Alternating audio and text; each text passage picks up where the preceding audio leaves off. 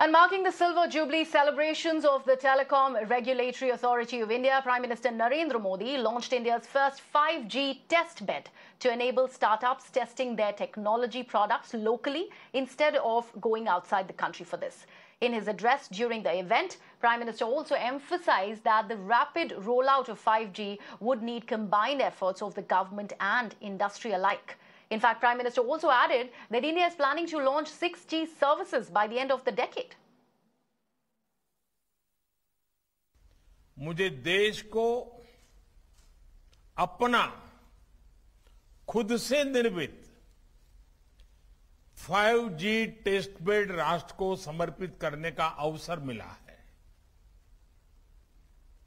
ये telecom sector में critical और आधुनिक टेक्नोलॉजी की आत्मनिर्भरता की दिशा में एक अहम कदम है।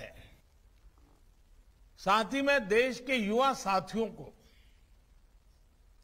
रिसर्चर्स और कंपनीज़ को आमंत्रित करता हूँ कि वो टेस्टिंग फैसिलिटी का उपयोग 5G टेक्नोलॉजी के निर्माण के लिए करें, यही नहीं।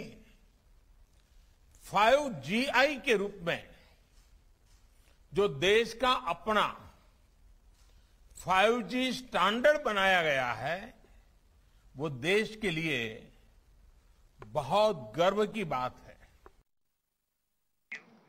My colleague Danish now joins me on the broadcast for more on this. Uh, Danish, a rollout, 6G rollout by the end of the decade is what the Prime Minister here has underlined, and also very, very important things that have come out of uh, this particular address. Of course, the Silver Jubilee celebrations of the Telecom Regulatory Authority of India. Uh, yes, uh, very rightly said. Uh, well, PM uh, Narendra Modi was there at the Silver Jubilee celebrations of TRAI, and uh, PM Modi has reiterated uh, his commitment towards 5G in India, and he has clearly indicated that 5G auctions will happen very soon.